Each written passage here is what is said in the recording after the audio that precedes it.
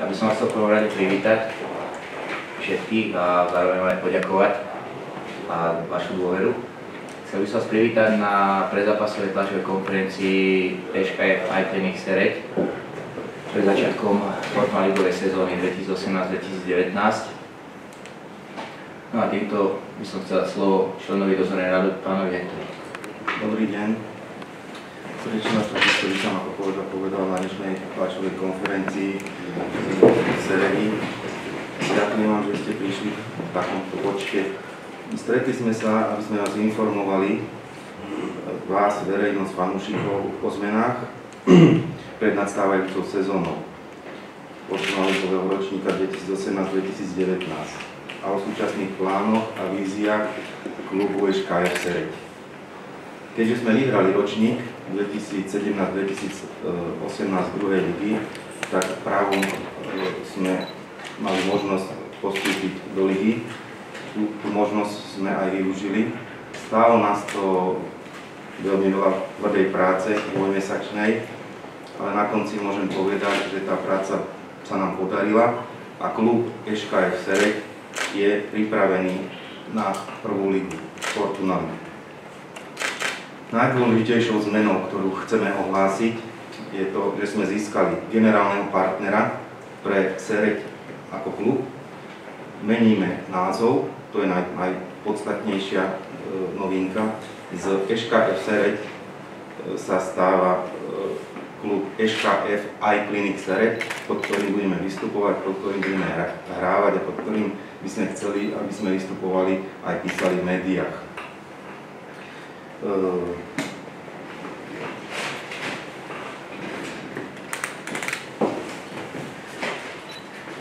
nášho pohľadu spoločnosť iClinic je mladá dynamická firma,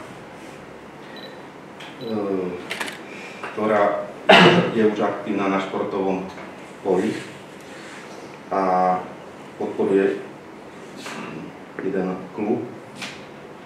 A vo svojom obore patrí medzi, medzi mladé rozvíjajúce a dynamické firmy a patrí medzi najlepší. Doba kontraktu s touto firmou je uzatvorená na jeden súťažný ročník. Ďalšou dôležitou e, informáciou je, kde, kde budeme hrávať, keďže ako všetci dobre viete, náš domovský stánok nevyhovuje e, fortunaligovým podmienkam. Po dlhých rokovaniach sme sa sme obišli všetky kluby, s, ktorým, s ktorými máme veľmi dobré kontakty. E, sme sa rozhodli, alebo najlepšiu ponuku nám e, ponúkla Mijava, konkrétne pán Halabrin, s ktorým boli rokovania veľmi korektné, rýchle, a dohodli sme sa za, za chvíľu, dá sa, dá sa povedať. Touto cestou by som chcel samozrejme poďakovať. poďakovať. E, keďže si uvedomujeme, že Mijava je zo Serede vzdialená 65 km, čo nie je pre, ná, pre nás ako klub a aj pre našich fanúšikov komfortné, tak stále hľadáme možnosti a riešenia ako ďalej. Čiže môžem povedať, že prvé zápasy určite odohráme na Mijave, ale Mali sme rokovania s e, klubom FC Nitra, ktorý nemá ešte dostávaný štadión, s tým, že po dostavbe štadiónu by sme sa mali presťahovať do Nitry, ktorá je vzdialená 15 minút diálnicou e, od, od Serede a od 3. 4. kola záleží od e, kolaudácie a pasportizácie ihriska slovenských kilometrov alebo unieligových klubov či to bude umožnené. My sme sa veľmi radi presťahovali do Nitry, kde to bude pre všetky strany, pre všetky strany dobré. Eh, keďže, keďže našim, našim cieľom alebo víziou, to je tá vízia, čo som spomínal na začiatku, že aká je vízia, je nielen byť nejakým fackovacím pánakom v tej lige a chceme tam sa udržať dlhodobo, tak rozmýšľame troška dopredu alebo keď už tá situácia tak vznikla, ako vznikla, že sme postúpili, e, tak chceme, chceme v spolupráci e, s mestom, Slovenským futbalovým zväzom a súkromným sektorom, aby sa, aby sa futbal vrátil do Serede, pre sereckých ľudí, pre našich fanúšikov a, a vlastne pre chalanov aj pre nás. Určite chceme, aby, aby, aby ten futbal bol v Seredi Preto máme už pripravenú vizualizáciu iriska, kde počítame stroj až 4000 kapacitou toho štadióna tým, že ten rozpočet by sa mal pohybovať medzi 2,5-3 milióny eur. Neviem vám povedať ešte konkrétne čísla, konkrétne veci, ale viem predstavu, že chceli by sme to v priebehu jednoho až dvoch rokov naplniť túto našu predstavu, aby, aby v podstate ten futbal v tej sérii bol, aby sme nemali domáce ihriska na nami, ale v Nitre. Predtým, ako, ako odovzdám slovo trénerovi, aby zhodnotil sezónu, prípravu na, na sezónu Fortuna Ligovú, nových hráčov, posily, odchody, by som veľmi rád odovzdal slovo nášmu generálnemu partnerovi a zástupcovi firmy iClinic, pánovi Dušanovi Pašekovi. Ďakujem. Dobrý deň prajem, vážení páni. Sme veľmi radi, že môžeme byť partnerom futbalového klubu EŠKF iClinic Sereď. Máme ako spoločnosť blízko k športu, čoho dôkazom je aj spolupráca s hokejovým klubom HC05 Iconic Banská Bystrica. A mm, čo sa týka, čo sa týka Serede, tak e, veľmi nás, veľmi nás zaujal práve príbeh, kde malý klub na základe tvrdej práce, dlhodobej práce sa dokázal dostať medzi futbalovú elitu a veríme, že klubu budeme pomáhať v naplňaní jeho ambícií a cieľov, či už ámustvu, alebo aj mládeže, ktorú považujeme za takú budúcnosť slovenského futbalu. Tak, páni. Pane Dušanov, rád by som poprosil, aby tréner zhodnotil prípravu pred Fortunondou a príchody a odchody hráčov. Dobrý deň. Ďakujem za slovo. tak my po tej anabáze v druhej lige, čo nikto nečakal. A myslím, že oni naši súperi, hlavne po jesennej časti, keď sme skončili na druhom mieste, tak sme si povedali, a tu na prítomný novinár Vladimír Pikuš, keď dával nejaké otázky, tak ja mu hovorím, už sa nebude rozhodovať v poslednom kole, bude sa, my už budeme mať v predposlednom kole škôrbodový náskok. Neviem, ako to Vlado zobral vtedy, ale pousmial sa, ale hovorím mu uver tomu a uvidíš, keď to tak bude. Aj to tak bolo.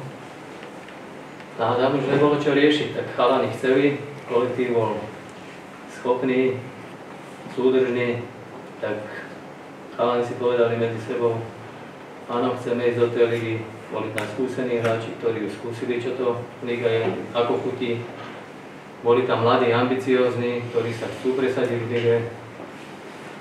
No a z toho vzniklo teda spolupráci s vedením klubu, že do toho chceme ísť. Všetko to pán Ektu povedal, všetko sa naplnilo a už sme tu pred začiatkom ligovej súťaže. Zmeny kádry sa udiali, dvaja ofenzívni hráči odišli, bol to Popin a Lugolavra, Lugolavra Škoda, Popin to bola nechcem nejak to nazývať, trošku povedať, nebudem sa k tomu vyjadrovať. A Lubo Lavra nechcel sa pobyť o miesto, hľadal ľahšiu cestu, takže zobral to tak, že on odchádza, ide do Liptovského Mikuláša. Brankár išiel do Slovana Ružinský, keď sa ma pýtal Robo Čapla, že čo hovorím, áno, je to mladý, ambiciózny brankár, hovorím, ale musí si zobrať do sebou aj Mikalíka živý. Takže to bolo Títo odišli, čo hrávali pravidelne, títo kľúčoví hráči, prišli noví hráči na miesto nich, skúsení ligoví hráči, čo už majú niečo za sebou. Je to Vúčko zo Žiliny, ktorý prišiel, potom Jozef Meni, ktorý mal tiež pár štartov v Ružomberku. Ďalším hráčom je Miritosian, ktorý bol zo začiatku zimnej príprave s nami, potom odišiel do Nitry, ten sa vrátil. No a prišiel Gatarič, ktorý takisto hrával Prešové. Či budú kusili, to uvidíme. A posledný, kto prišiel, tak to bol Aldo Baez, ktorý takisto má ligové skúsenosti, je tu od 20 rokov, má už, neviem, či má slovenské občianstvo aj alebo občianský preukaz. Viem, že v Trenčíne býva, má kamarádovú dceru, takže málo len informácie. Takže toto by mali byť ako naše posily, vystúžili sme ten káder. A hovorím, či budú posily alebo nebudú, to ukáže samotná súťaž. Takže výprava aká bola, ukážu, ukážu až naše výsledky. Keď budeme vyhrávať, budeme bodovať, tak príprava bola dobrá. Keď to bude opak, tak príprava bola, bude sa hodnotiť, akože bola nevydarená. Takže o tom to je. Všetko to je o výsledkoch a o bodoch. Miško, ešte prosím nespomen brankára. Ja brankár prišiel zo Slovenskej ligy, je to reprezentant Nigérie do 23 rokov, chlape čierne plety, dúfajme, že bude posila tiež. Asi toľko, asi posila na príprave. Nechcel by som vyja- vyjadrovať sa k tomu, že čo sme otrénovali, jak sme otrénovali, čo sme neotrénovali. To je také, že v minulosti to tak bolo, že kamarádi moji ono mi dali, alebo na tlačovka, že otrénovali sme všetko, to všetko celé sme splnili a hrali zle. Tak hovorím, no, keby ste neotrénovali všetko, jak by ste hrali. Takže to je taká polemika. Ukážu vám samostatné ligové zápasy, ako sme na tom. Takže z mojej strany asi toľko. Napriek tomu, pán tréner, slovo, e, spokojnosť s odohratými zápasmi. Sereď e, v druhej lige bol klub, ktorý nastrelal najviac gólov a v podstate jeden, jeden z tých, ktorý najmenej inkasoval. Sme schopní udržať si tento štandard. No tak ja som to chalanom už viackrát pripomenul, ak v druhej lige sme sa naučili vyhrávať a toto by sme chceli, tomto by sme chceli pokračovať v prvej lige. Naučiť sa vyhrávať a neprehrávať.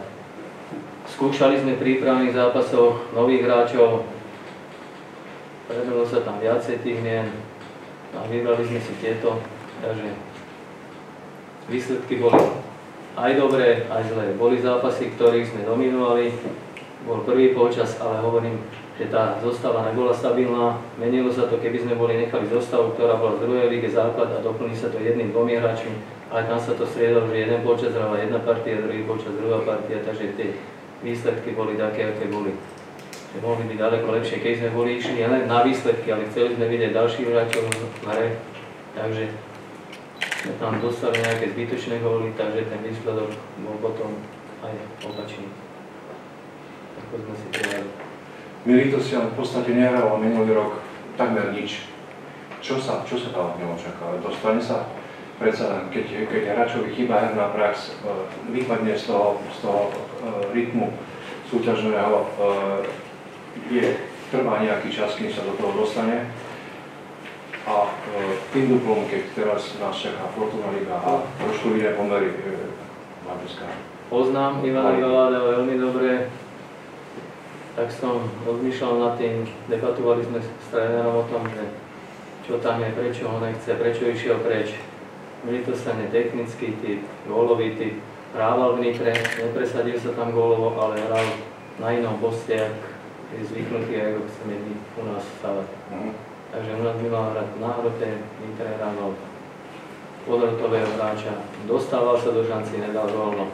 Tak keď som s ním debatoval, hovorí, že ale Galádovi dá gol. Nitre dá, takže uvidíme. Dobre, minulý, minulý pred, pred, pred druhou ligou ste si, ste si e, tak typli teda, že odhad, že teda série by mohla skončiť do toho druhého, tretieho, po, po, po jeseni, potom ako teda, že budeme, e, e, že vyhráme. Máš nejaký súkromný odhad na Fortuna Ligu? Takto budeme hrať, e, v prvej lige budeme hrať so všetkými skúsenými ligovými ústvami. My sme z Brusu tam nováči. A toto sú skúsené ústva, ktoré okrem Nitry, ktorá pred rokom postupila, ale v minulosť má takú, že hrávala dlhodobú ligu a tieto mužstva sú tam ostatné dlhodobo.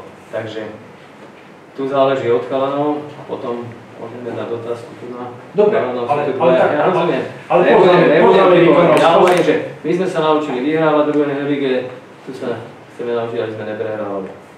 A chceme byť každému mústvo vyrovnaným súperom, od začiatku pôjdeme s tým, že chceme vyhrávať, že chceme vyhrať ten zápas a keď chalani nechajú na ihrisku to, čo v nich je a super bude lepší a prehráme, aby sme po zápase nemuseli pozerať jeden na druhého, že ty si nespravil toto, ty si nespravil toto, aby si nevyčítali.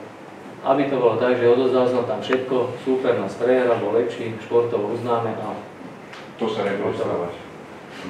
a je to vybavené. Takže moje strany dobro. A typovať, že golky skončíme na najlepší sme aspoň Lepší bol, keď sme prví, no takže Dobre, taký nejaký, že do 6. miesta sme schopní. Ne, ne, to, Či? Nie? Ja by som tak povedal, že našim cieľom vedenia hráčov a všetkých je to, my aj v tej druhej lige sú strašne dôležité veci, prečo sme my tú druhú ligu aj vyhrali a, a to je pokora, rodinná atmosféra a minimálny tlak. Proste my sme hrali so srdcom, chlapci mali splnené všetky podmienky, aj keď sme boli amatéri. U nás, u nás platí jedna dôležitá vec a to je chlapské slovo a to bolo vždy dodržané. A tým, že sme sa aj transformovali na akciovú spoločnosť, mm, s chlapcov, ktorí chodili do práce, sú momentálne profesionáli a takisto budeme pristupovať s pokorou, s úctou ku každému jednému zápasu. Každý jeden zápas môžem povedať za seba, že ja chcem vyhrať, dúfam, že aj chalani, lebo ich poznám, poznám ich mentality. Tie zmeny v tom kádrioze sme neurobili, alebo tréneri neurobili veľké, lebo jedno z kritérií a rozhodovaní, keď sme sa rozhodovali, či vôbec sa prihlásiť do prvej ligy, bolo to, že na konci sme si, prvýkrát sme si sadli my chalani k tomu, ale na druhýkrát sme si sadli pred úplným finišom rozhodovaní, či vôbec sa prihlásiť do ligy s chalanmi.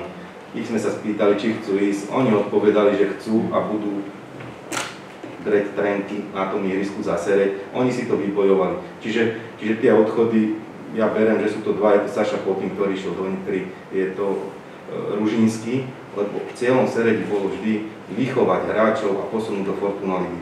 My dnes neboli sme klub, že by sme mali zmluvy a predávali hráčov, to nebolo, to sa možno teraz troška zmení, sme Fortuna Ligista, ale fakt ten klub funguje a fungoval ako rodinný klub. Čiže všetci sme tam priatelia, kamaráti. A čo sa týka tej, tých postupov a to, akože postupili sme do prvej ligy, určite sa tam chceme udržať, nehovoríme to, že by sme boli namyslení, ale je za nami 10-ročná robota, niekoľko, niekoľko postupov. A tá partia zostala vždy, aj keď boli problémy, aj keď neboli, ale vždy pri stole to zostalo, vyrokovali sme si, povedali sme si, nikdy sa nestalo, že by na verejnosť vyšla nejaká zlá správa, nie len od nás, ale v prvom rade tá vizitka je tá, že aj tí chlapci, ktorí od nás odišli do druhých klubov, do lepších, možno aj do horších, nikto na sere nenadával. Vždy všetko, čo bolo dohodnuté, sa aj splnilo. A týmto chceme asi aj v tej lige naviazať na to, že chceme, chceme byť úspešní, chceme vyhrávať a keď prehráme a super bude lepší, tak mu zagratulujeme, poďakujeme, takže asi toľko. Martin, eh, eh, prebiehala nejaká mentálna príprava, koľko to asi tak len tak úvodzovkách, lebo rozdiel medzi, medzi druhou a Fortuna ligou jedna jednoducho tu je minimálne v tej otázke, že možno v druhom to nebude až také, až také nejaké, také moc, ale e, prídete do Dunajskej sredy, kde, kde naozaj je 10 tisíc ľudí, príde sa, ja neviem, do Trnavy, kde zakričí 14 tisíc ľudí. E, jak ste na tom pripravení, e, zvládnete ten, ten tlak a to teda, že minimálne všetkým médiami už budete sledovaní v tej najvyššej súťaži, predsa len ten rozdiel medzi druhou a prvou ligou jednoducho tu je, to sa nemôže povedať, že nie. Mentálna príprava. Mentálna príprava Zvládnete to? Musí len nakopnúť, keď príde do naplný štadión a keď prídeme niekde na východe, bolo 200 ľudí a bolo počuť prakticky všetko, tuto sa na ihrisku neviem počuť, to musí každého prísť na ihrisko a musí ho to naštartovať na 100%. To teda aspoň na osobne, ale verím, že aj chalanov však poznám väčšinu chalanov, však sme zostali pokope a, a proste všetci sme odhodlaní do tej ligy ísť na 100% a ako povedal pán Erik Zodra, tréningy zase. Ja už som to povedal, že kde bude hrať cere, tam bude hore trávy. Môžem ešte ja na pána Hekta v súvislosti aj, aj s tými zmenami, ktoré sa udiali, aký budete mať teda sezónny rozpočet a ak to nie je nejaké zmluvné tajomstvo a akým podielom sa bude nový partner. Som to asi na dve, na dve odpovede rozdelil. Vôbec to není tajomstvom, čo sa týka rozpočtu klubu. Veľa sa v médiách popísalo pri konci súťaže, s akým rozpočtom sme vyhrali tú súťaž. Nebola to celkom pravda, chcem sa tým aj ospravedlniť slovami, že sa tam porovnávali hráčov plat s našim rozpočtom, čiže to, neviem, tam skoro ústo vyšlo, ale ten rozpočet bol troška vyšší.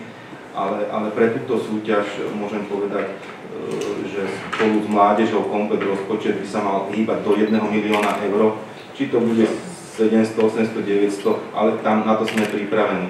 Čo, čo sa týka e, partnera iClinic, tak e, máme tam, získali sme generálneho partnera, nechcem hovoriť ani percentuálne, ani ak sme tam dohodnutí s mluvnou mlčanlivosťou, ale je to výrazná miera toho, aby sme ten rozpočet naplnili.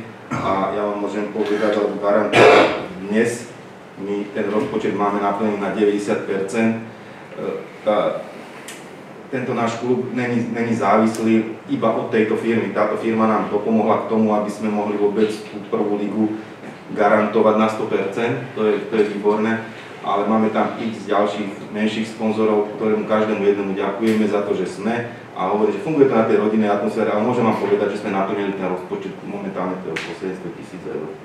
A myslíme si, samozrejme veľká vďaka, ešte ak som nezabudol, patrí mestu Sereď, ktorá, ktorá podporuje veľmi, alebo je to mestský klub, a podporovala dlhodobo a každým rokom tým, že Serec sa stáva takým priemyselným mestom a centrom, otvárajú sa tu rôzne firmy, tak aj ten mestský rozpočet sa nejakým spôsobom naplňa, čiže každým rokom nám nejakým spôsobom navyšovali, ako je v možnostiach, ale treba zase povedať aj ide, že v Seredi okrem futbalu je veľa iných kvalitných športov, ako je basketbal, ženská, ženská hádzana, ktorá hrá prvú ligu, čiže chápeme aj my, že to mesto musíte peniaze rozdeliť na, na viacero klubov, a viacero športov, máme tu rôzne iné športy, nechcem ich menovať, som na niekoho nezabudol, ale viem, že na basketbal, futbal sú také top, myslím, že tu je nejaké taekwondo, karate alebo niečo také, ktoré tie sú európsky e, silní.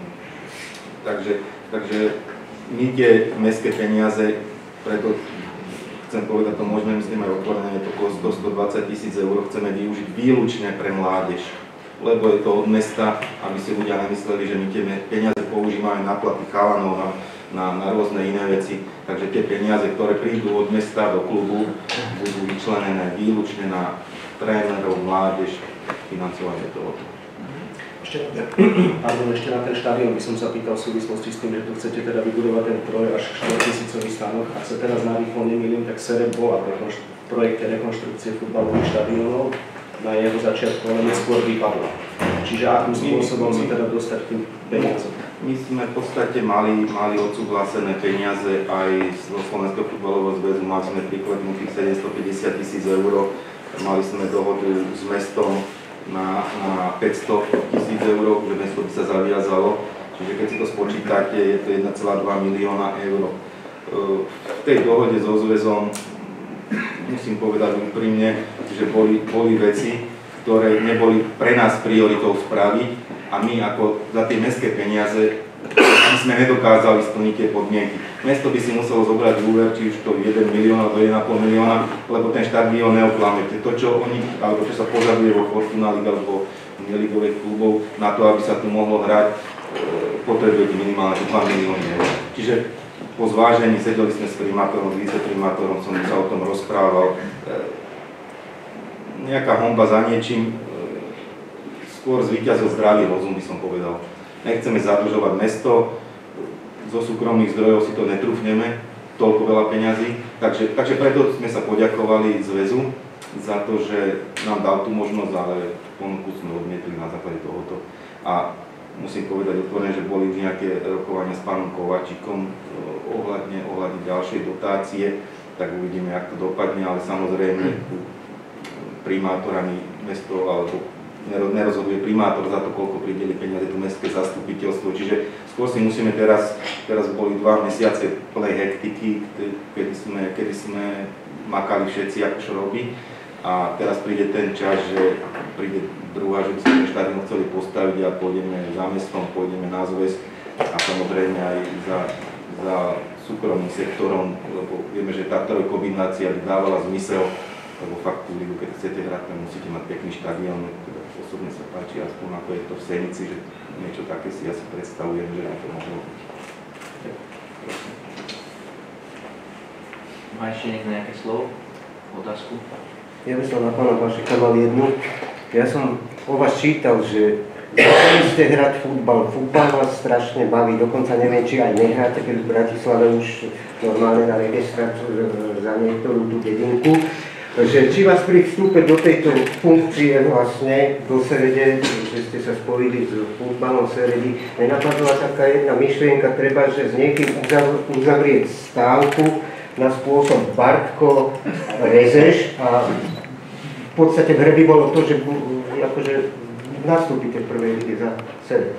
Veľmi nerad by som sa dostal do pozície porovnávania s pánom Rezečom alebo Bartkom samozrejme, ale je pravda, že, že po konci hokejovej kariéry som sa začal teraz venovať futbalu. Hrám futbal, trénujem každý deň, ale bolo by to asi, asi veľké sústo pre mňa nastúpiť na Fortuna ligový zápas. Tak samozrejme je to najvyššia súťaž, má, má veľkú kvalitu a, a ja hrám ten futbal naozaj krátko ešte, ale e, človek nikdy nevie, čo, čo môže priniesť budúcnosť, takže uvidíme.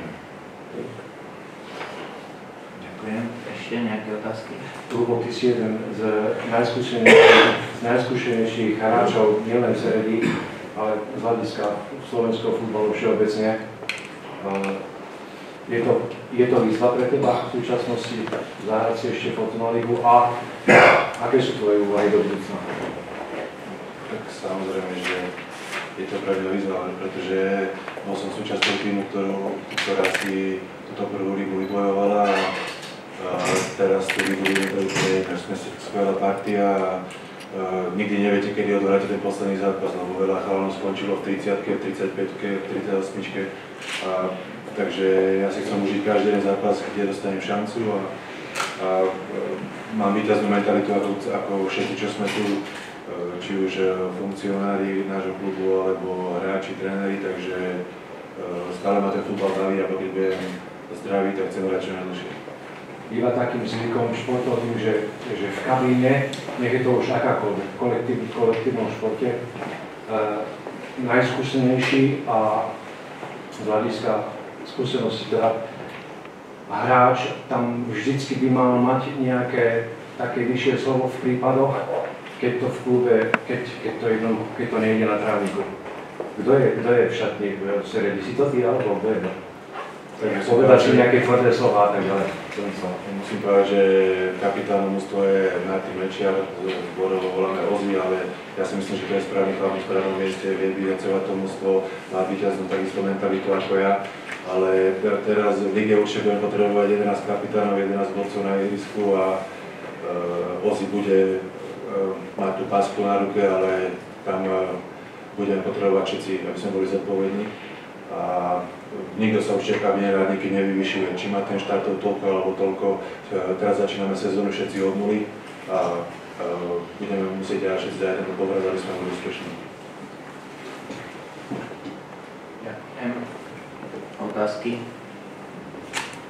Tak ak nikto nemá, tak by som vás chcel veľmi pekne poďakovať za účasť a po tlačovej konferencii ešte poprosím predstaviteľov na individuálne rozhovory s médiami. Ďakujem pekne ešte raz.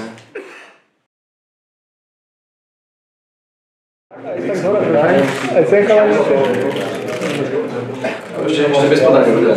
Dobre, môžete